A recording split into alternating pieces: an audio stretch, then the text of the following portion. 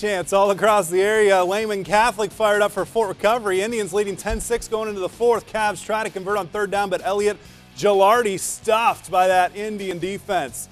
On the punt, the snap is low. Punter Michael Denning can't handle it. Indians prime field position in the red zone. They don't waste time. Jacob Atchison takes it through the heart of the defense. 17-6 Fort Recovery extending that lead. Lehman trying to get it back. Gilardi scrambles, looking, looking finally finds Brendan O'Leary, first down yardage for Lehman.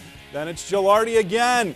Finds Andrew Barhorst this time. Nice pickup. But fourth and 14 comes up for the Cavs. Gilardi to John Ciancilio on the screen, but nowhere to go. And that Fort Recovery defense holds on for the win. 23 to 6 for Team Purple and Silver, and I think some black.